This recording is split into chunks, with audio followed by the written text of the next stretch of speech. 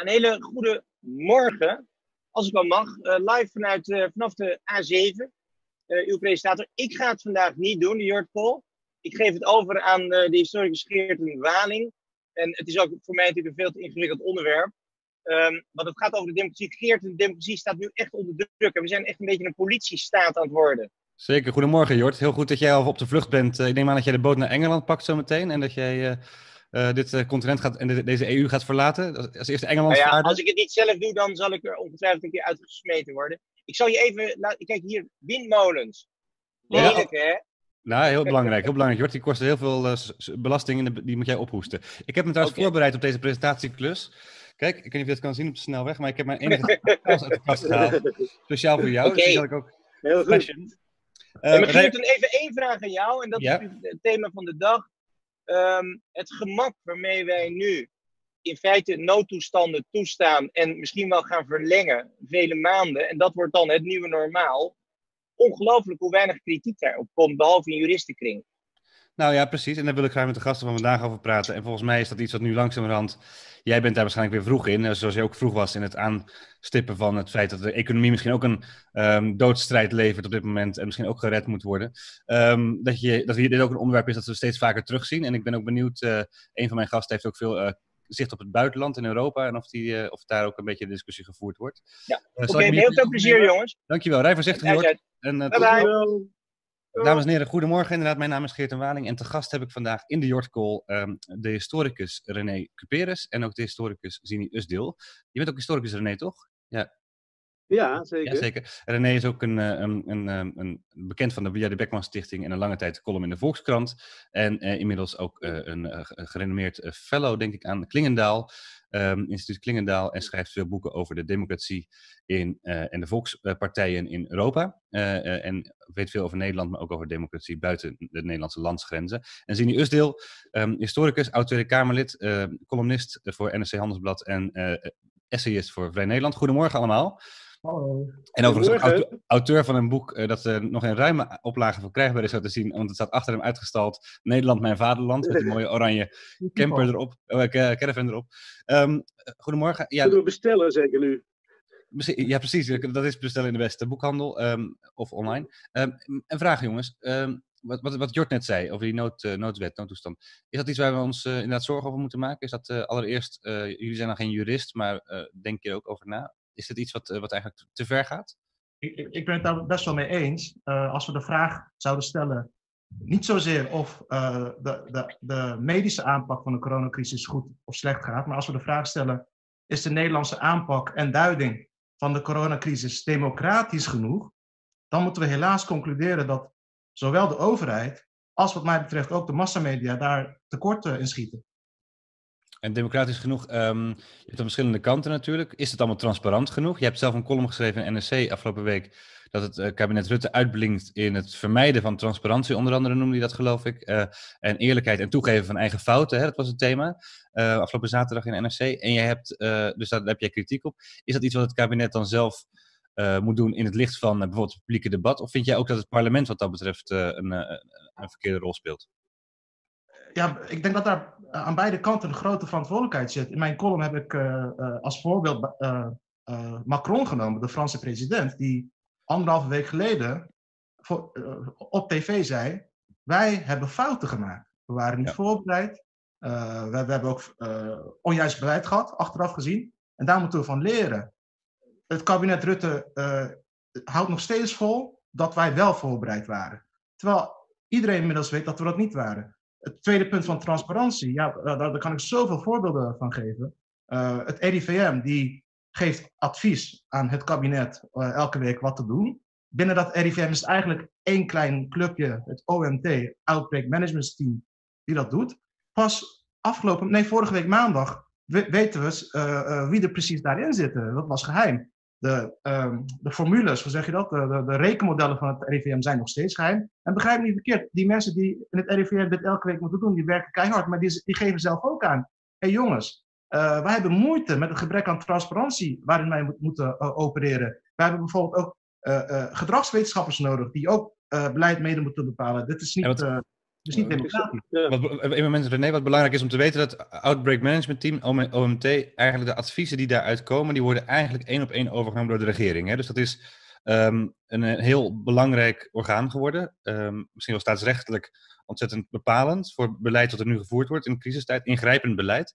En daarvan zijn de, zowel de, de overwegingen als de beslissingen zijn heel erg ontransparant. En, de- en de samenstelling tot voor kort heel ontransparant. René, wat wil je zeggen? Nou, ik wil nog even ingaan op de algemene vraag. Hè?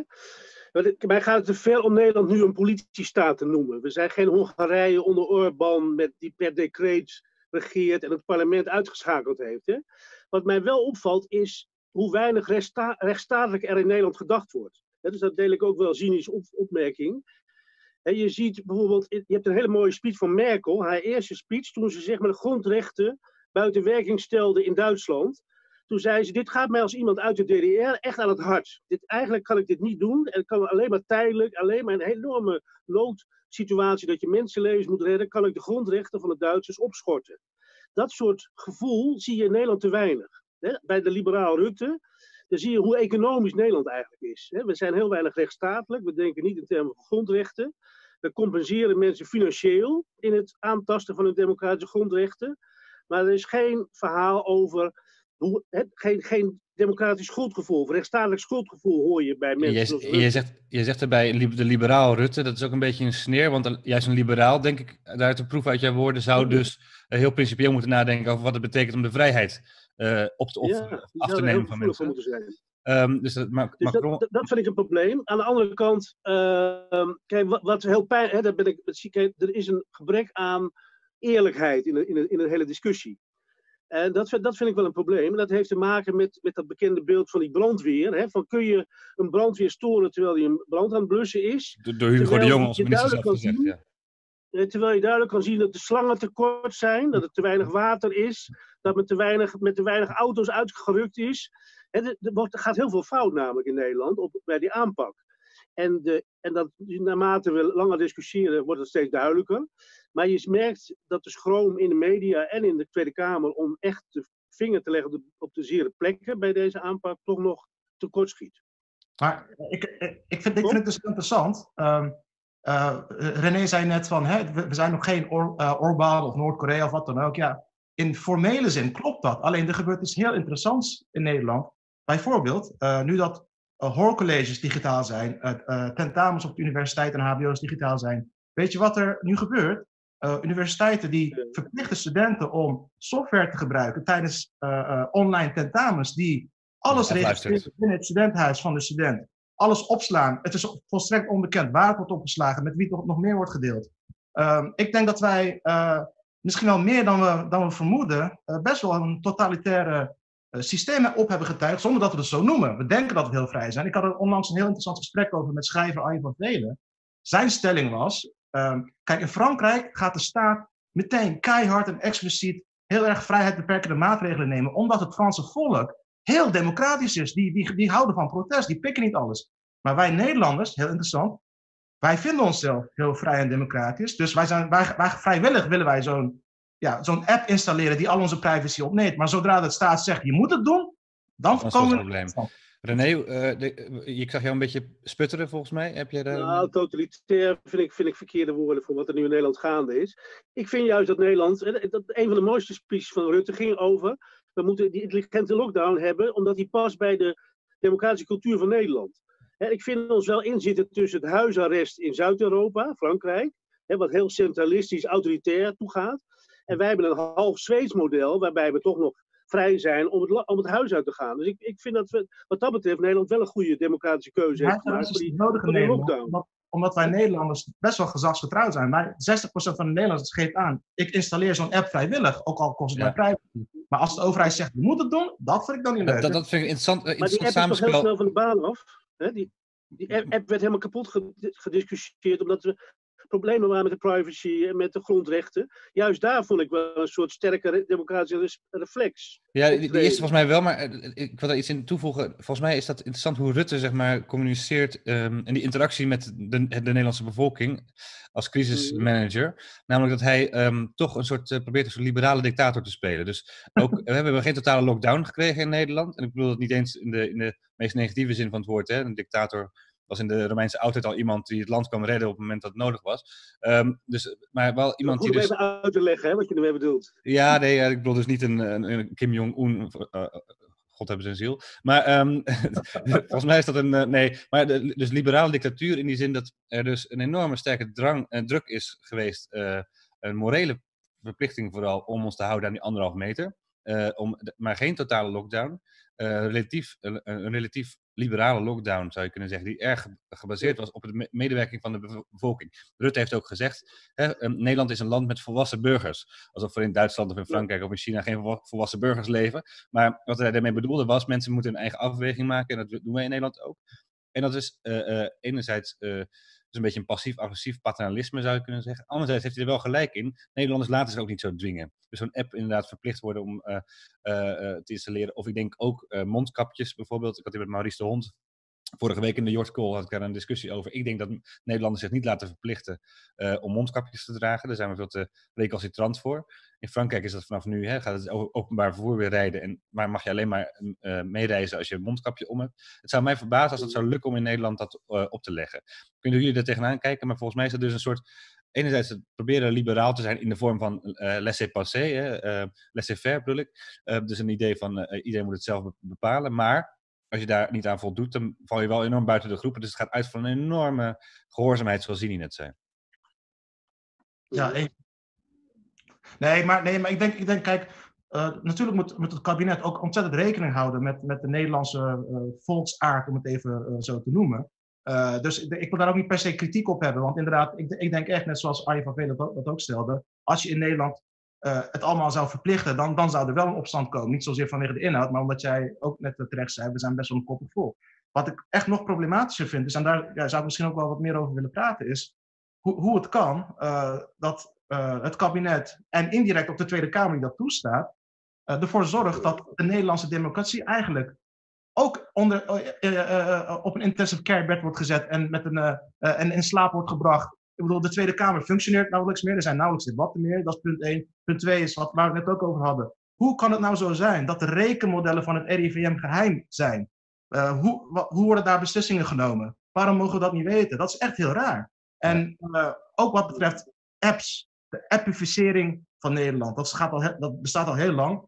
Maar waarom gaan we zo hard en zo snel proberen een app te maken, terwijl we ontzettend tekort hebben aan IC-bedden, aan testmateriaal, aan mondkapjes, er is een soort van rare reflex in Nederland, uh, bij, de, bij de powers that be zou je, zou je kunnen zeggen, om alles op zo'n gesloten, intransparante manier te regelen. Dat zal vast oprecht zijn, maar ik vind het wel problematisch. En dan op, aanvullend toen uh, um, SP-leider Lilian Marijnissen dit aansneed in de Tweede Kamer, toen zei ze, nou, je kan beter een smartphone zijn op zoek naar een app dan een, uh, een verpleegkundige op zoek naar een mondkapje, geloof ik. Toen liet Rutte zich ontvallen uh, u gaat de grens over, hè? Uh, ja. Dit gaat de grens over, of zoiets, uh, zei hij. Hij, was, hij snauwde dat echt een beetje.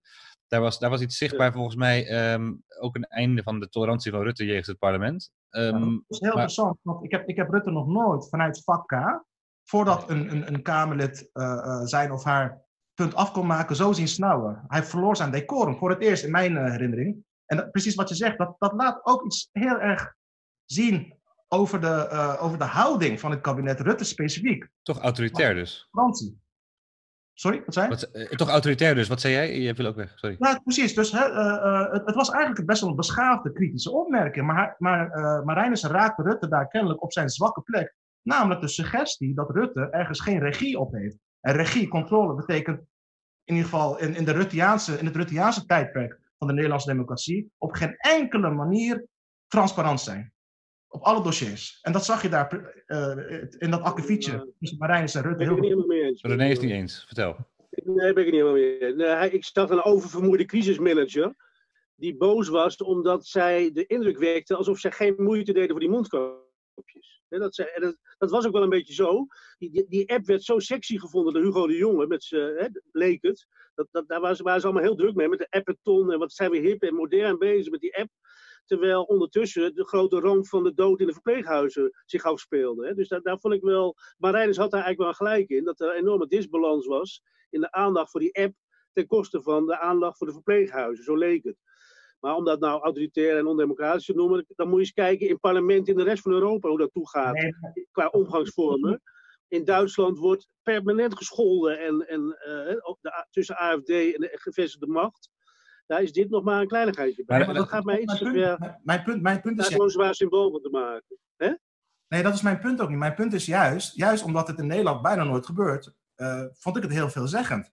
Dat Rutte juist op dit punt uit zijn slof schoot. En niet, hij is heel vaak keihard uh, aangepakt in de Tweede Kamer. Ook voor, uh, bij voor hem heel gevaarlijke debatten, bijvoorbeeld over de bombardementen Hawija, over de afschaffing van de dividendbelasting. Hij bleef altijd cool en teflon, hij lachte alles weg, hoe gevaarlijk het ook was. Maar dit punt raakt hem. En het is niet alleen over vermoeidheid, dat weet ik zeker. De, de, Marijnissen raakte Rutte op zijn enige zwakke plek. Wat, ja, wat ik net zei, hij wil altijd overal regie op hebben. Daar is op zich niks mis mee. Maar als, als je regie vertaalt naar op alle mogelijke manieren, op alle dossiers, zo weinig mogelijk transparantie tonen richting de Tweede Kamer en richting het uh, uh, land. Dat vind ik best wel, best wel kwalijk eigenlijk. Ja, laten we even een aanvulling daarop. Uh, wat deze week vergadert de Kamer helemaal niet. Hè? Het is geen plenaire vergadering, het is een soort meivakantie. alsof het gewoon een normale gang van zaken is.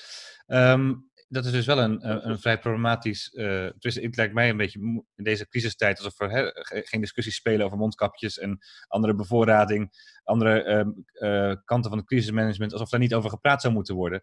Um, dus zet het parlement zichzelf dan vrijwillig buitenspel? Wat zei je niet? Dat is niet helemaal waar. Op dit moment is er een uh, debat in de Tweede Kamer over, over onderwijs, wat heel goed is. niet, in de, niet in de plenaire zaal vanwege de coronamaatregelen. maar je hebt gelijk, je hebt wel, voor de rest wel gelijk bijna alle debatten die niet met corona te maken hebben, zijn geschrapt. En is dat een goede zaak? Natuurlijk niet. Jij, hebt, jij hebt zelf in de Tweede Kamer natuurlijk, uh, ik geloof, twee jaar rondgelopen. Um, heb, je daar een, heb je nou grip achter gekregen hoe dat nou is? Zijn het nou de coalitiepartijen die de opdracht krijgen om politiek, geen politiek te bedrijven? Om bijvoorbeeld dit soort thema's van de agenda te halen? Of is dit ook, laat, de, laat de oppositie zich ook hierin makkelijk mee sleuren. Eh, GroenLinks heeft, um, naar ik begreep, in een videovergadering um, erop aangedrongen dat er minder vergaderd zou worden. Dat Ariep eigenlijk te, te, te weinig flexibel zou zijn met ook uh, digitaal vergaderen bijvoorbeeld. Dus GroenLinks als oppositiepartij gaat daarmee ook eigenlijk, gesteund door de coalitiepartijen, uh, ging ook eigenlijk over tot het noodscenario in plaats van het normaal functioneren van het parlement.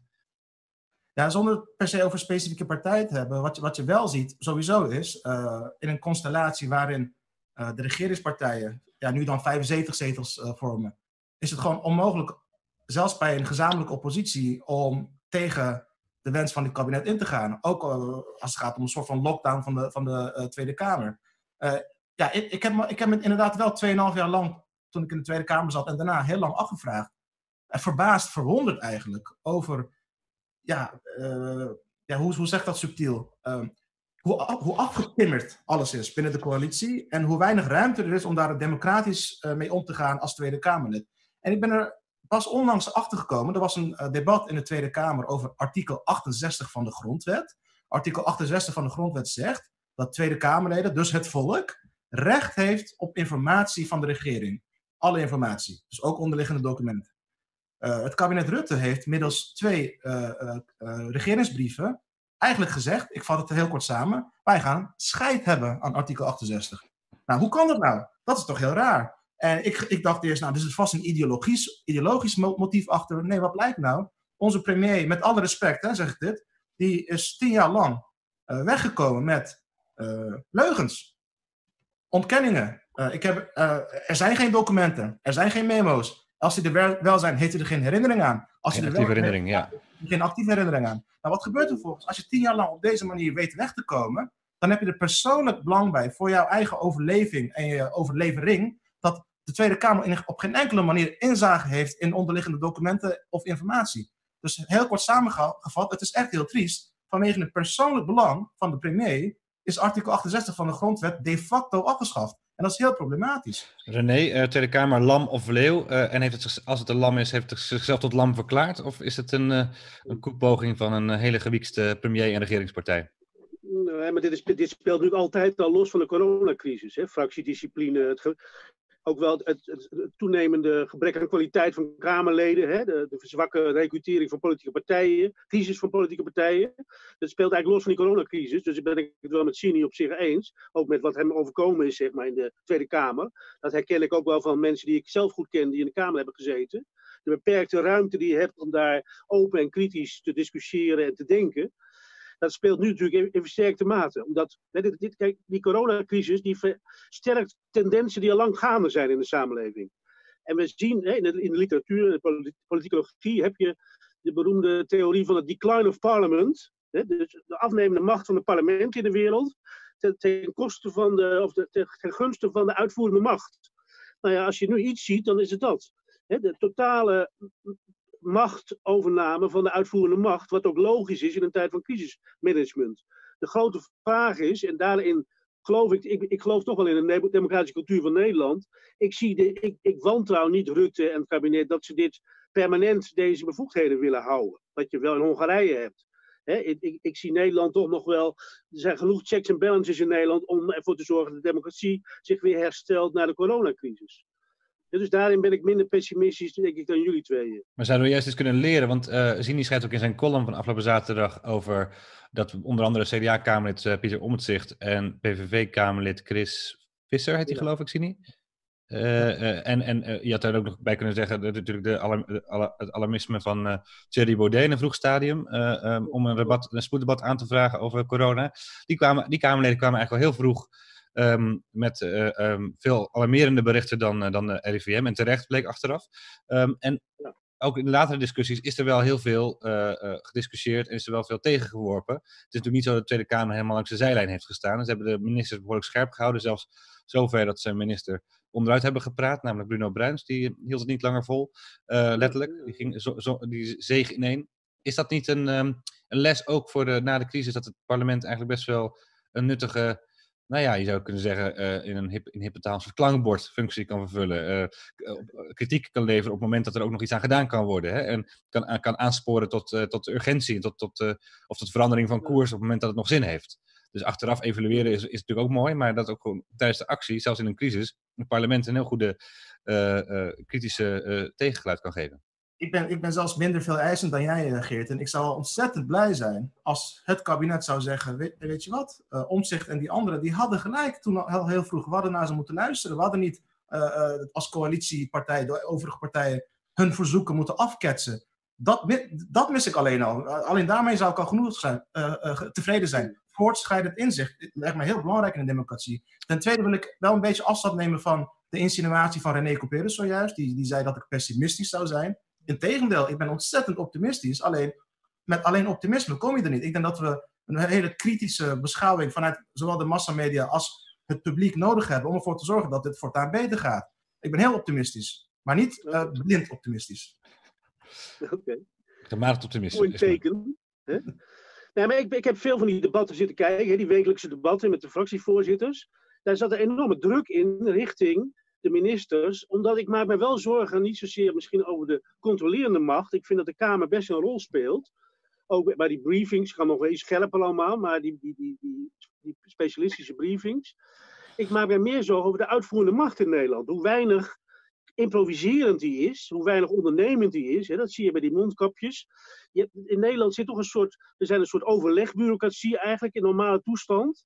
En we moesten in die coronacrisis van overlegdemocratie een commando-economie worden. om, om, om zeg maar enorm te kunnen reageren op die coronacrisis. En dan zie je dat dat in een land als Nederland toch vrij moeizaam gaat. Dat we de neiging hebben om het tamelijk bureaucratisch en centralistisch aan te pakken. En weinig ondernemersgericht. En dat, dat, volgens mij hebben we daar nog steeds last van. je zag het ook met de... minister van Rijn zag, hè, dan zag je toch een gebrek aan ondernemerschap nog steeds. Ja, je, je zag het uh, in het begin ook een beetje met die, uh, met die testen, geloof ik. Er was er zo'n arts in Groningen die zei: Wij hebben genoeg testen. En, we gaan het allemaal, en, en, die werd eigenlijk aangevallen en dat werd eigenlijk als uh, onloyaal gezien. en ook ja. in het geval van, van mondkapjes, inderdaad, moest het allemaal centraal worden gedistribueerd. En mochten verzorgingshuizen en verpleeghuizen niet zelf eigenlijk die, die aankopen doen. Aan de andere kant, René. Ik heb het gevoel bijvoorbeeld dat in het OMT de verkeerde mensen zitten als, je, als je naar die samenstelling kijkt, dan is het een polderoverleg van beroepsvereniging van medici. Ja. Terwijl daar moeten mensen zitten als Jaap Goudsmit, Ab Osterhaus, Coutinho, de echte kenners, echte experts. Mensen die gepokt en gemazeld zijn door, door zo'n crisis. Maar daar, zitten een beetje, daar zitten mensen van beroepsverenigingen van medici in. Ik, ik dus volgens mij hebben we ook Ik moet wel een beetje opnemen voor het RIVM hier, want René Couperus heeft wel een punt. Uh, alleen het interessante is, uh, het, het, huidige RIVM, die zegt dat eigenlijk ook. Op een heel diplomatieke manier hebben ze in een uh, advies vorige week ook gezegd, luister eens, we hebben bredere expertise nodig, uh, kabinet. Zorg dat er ook gedragswetenschappers, sociale wetenschappers bij het RIVM zitten. Het is wel heel, heel interessant wat René Couperus zegt, want wat gebeurt er? het RIVM die zegt steeds, mondkapjes hebben geen zin. Het belangrijkste argument is, omdat als mensen mondkapjes opdoen, dan denken ze dat ze veilig zijn en dan gaan ze heel roekeloos gedrag vertonen. Maar dat zegt, dat zegt een, een, een viroloog. Ik heb met gedragswetenschappers gesproken en met sociale wetenschappers, die zeggen dat is klinkklare onzin. Wij weten uit uitgebreid onderzoek. Bijvoorbeeld toen, toen uh, uh, hoe heet dat? In een auto, zo'n zo'n veiligheidsriem. Gordel, je gordel, ja. Een gordel, toen een gordel verplicht werd, toen een gordel verplicht werd, gingen mensen niet roekeloos rijden. Integendeel, dat maakte mensen juist meer bewust van uh, risico's, waardoor ze veiliger gingen rijden. Dus dat is één voorbeeld van uh, waarom het OMT, zoals Couperus terecht zei, veel breder moet worden ingevuld. Maar ik wil het echt wel opnemen voor Jaap van Dissel en zijn mensen. Zij zeggen dat ook, zij willen dat ook. Nu moet Rutte het gewoon gaan doen. Ja, ik heb, ik heb aan de andere kant ook nog even wat ik nog wilde toevoegen. Um, ja, het kabinet heeft misschien, en de regering, de uitvoerende macht, zoals René dat noemde, heeft het uh, natuurlijk een, een, een, een, oog bureaucratisch, hè, zei je. Maar uh, tegelijkertijd viel het me op de, hoe makkelijk dat geld werd vrijgemaakt voor het ondersteunen van ondernemers en van uh, ZZP'ers en, en uh, arbeidslooncompensatie.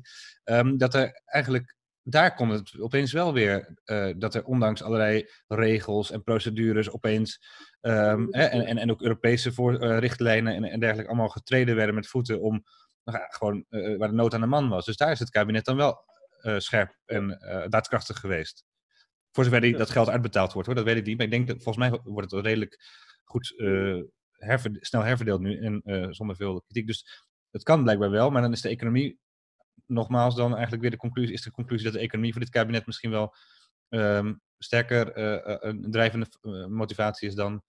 Ja, ik zou, sterker nog, ik zou willen zeggen, niet, zozeer de economie, maar je ziet gewoon die neoliberale reflex, de religie, dat als je de rijkste 1%, de grootste bedrijven subsidie geeft, geld geeft, no matter wat, dat het dan vanzelf naar beneden trickelt. Dat is gewoon zulke klinkklare onzin. Daar maak ik me ook zorgen om. Ik bedoel, de kunst- en cultuursector, die moet met de voor gaan kijken of ze het uh, gaan redden. Studenten, die krijgen helemaal niks. maar als je, weet ik veel, Unilever heet, dan, dan, dan, dan mag je alles. Zonder, zonder trouwens, ik ben er niet eens per se tegen. Alleen, er worden geen harde voorwaarden gesteld. KLM of Unilever. Er wordt een moreel appel gedaan. Ik Daar je ook ja. Ik, ik hoor op dit moment uh, Jort Kelder ongeveer in de snelweg, op de snelweg nu uh, op, de vluchtstrook, op de belanden. Al tierend op dit uh, anti-neoliberale verhaal wat, wat hier in de Jortcall opeens een podium krijgt. Maar ik ga daar niet, ik ga daar niet op, op zijn manier op reageren. nog een paar minuten. dat is ook geen goed beeld. Nou ja, ook reageer maar even. Het is niet een goed, ik bedoel, deels heeft Sini wel gelijk, maar het is niet waar dat alleen maar grote bedrijven geld krijgen. Ook ZZP'ers krijgen geld, ook horecaondernemers krijgen geld. Mooi. Dus het wordt enorm met, hè, over de hele linie wordt er met geld gesmeten. Wat het, meer, wat het voor mij meer zegt is hoe, hè, de Franse schrijver, die heeft Nederland wel eens een economisch bedrijf genoemd in plaats van een land. En wij zijn heel sterk economisch, denken wij. Wij denken niet in, in democratische grondrechten of de aantasting daarvan. Nee, we compenseren direct financieel-economisch. Dat is een hele sterke economisch. En we zijn een economisch denkend land. En we, we, we zijn tamelijk slordig over de democratie. En dat is volgens mij waarom we dit gesprek ook voeren vandaag. De BV Nederland. Even eh, ter afronding, jongens. Want een belangrijk uh, aspect, hè, de, de vraag van vanochtend was een beetje: zet de crisis de democratie op de tocht? Ik denk dat er veel dingen daarvan al hebben besproken, voor zover dat kan in een half uur. Maar één thema nog is ook wel een beetje de termijn en de toekomstvisie. Hè? Als je noodwetten uh, aanneemt en als je noodbeleid invoert en als je grondrechten met voeten treedt en dergelijke, um, is het wel heel belangrijk dat het duidelijk is voor hoe lang dat duurt. En ik heb het gevoel, René, misschien dat jij dat ook in, uh, dat in andere landen daar iets duidelijker is nagedacht over wat dan de termijn is en wanneer daar weer een evaluatiemoment plaatsvindt. Um, ik dacht dat in Frankrijk in ieder geval daar wel uh, sterk over wordt nagedacht. In Hongarije aan de andere kant bijvoorbeeld hebben ze gewoon het parlement voor de rest van het jaar buitenspel gezet onder de mom van corona. Dat komt, komt natuurlijk ook heel goed uit. Hoe gaat Nederland daar nou mee om? Hebben wij nou een duidelijke visie hoe, uh, op de anderhalf meter samenleving, of hoe dat ook mag heten hierna, en vooral over de, de houdbaarheid van die draconische wetten en maatregelen? Mhm. Ja, ik kan het niet helemaal overzien hoe dat. De echte dictator is natuurlijk het coronavirus. Zolang we die niet getemd hebben, weten we niet precies hoe het eindigt. Hè. Dat blijft natuurlijk een probleem voor alle landen. Hè, je, moet- je moet wel zeggen dat in Nederland, eh, de, de Binnenlandse Zaken heeft een spoedwet digitale besluitvorming gemaakt om de democratie te laten doorlopen, ook, ook digitaal. Dus, Dus gereageerd. Gemeenteraadsvergaderingen kunnen ook, eh, kunnen ook besluiten nemen via de internet zonder dat dat... eh, provincies, Fysiek, ja. waterschappen. Dus dat hebben, ze, dat hebben ze wel snel gedaan. Alleen, je hebt, je hebt helemaal gelijk. Wim Voermans had wel een goed stuk in de NRC. Die zei eigenlijk, hebben de noodtoestand uitgeroepen... zonder dat we dat officieel zo hebben vastgesteld met elkaar. Dus hoe langer dit duurt, hoe, hoe formeler je denk ik moet zijn... in het vaststellen van de regels die we nu hebben. Ja. Dus daar, daar, daar deel ik wel de visie van Wim Voermans. Wim Voermans overigens aanstaande zaterdag de gast is bij Jort Kelder op Radio 1. eh, ik meen van 1 tot ja. 2, maar in eh, Dr. Kelder en Co. Dus dat is een leuk, leuk bruggetje daarnaar. Eh, Zini, een, laatste woord hierover nog? Ja, heel kort nog. Eh, ik denk, eh, daar hebben we geen tijd voor gehad om over te praten. De massamedia schiet ook eh, een beetje tekort over deze crisis, vind ik. Ik bedoel, je hoeft de tv maar open te slaan. Op elke talkshow zie je Jort Kelder. Maakt niet uit of het de publieke omroep is of de private zender. En niks persoonlijks tegen de heer Kelder, maar dat, daar moet echt een keer een eind aan komen, vind ik. En eh, op dit moment dat je dacht weggedrukt te worden natuurlijk door de regie. Overigens de regie in handen van Roemer en Max. Even een dankwoord aan hen. Eh, ik weet niet of Jort dat ook doet, maar het, eh, die, jongens die doen erg hun best voor de redactie en de techniek om het op te zetten. Heren, ik ga jullie bedanken voor deze bijdrage. Ehm, ik hoop jullie nog eens vaker te spreken en wie weet ook wel in, op de kanalen van, van die vreselijke Jort Kelder. maar ehm, op zijn minst heeft Zini nu een bijdrage kunnen leveren aan meer inhoud eh, in afwezigheid van de heer Kelder, die met zijn katten nog steeds ergens op de snelweg eh, rijdt, hopelijk. Ehm, en dan niet in de berm of in de vangrail beland is. Eh, heren, bedankt. En kijkers, graag tot een volgende Jortcall. Waarschijnlijk morgen ook weer van 11 tot half 12. Dag. Ook, dankjewel, Geert.